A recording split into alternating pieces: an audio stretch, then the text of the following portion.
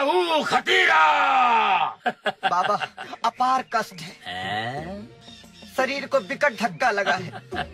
शांति बच्चा शांति। हर कष्ट का निवारण है शांति। शांति के माँ बाप ने ही तो शादी के लिए मना कर दिया बाबा। तब से हमारे जीवन में शांति है।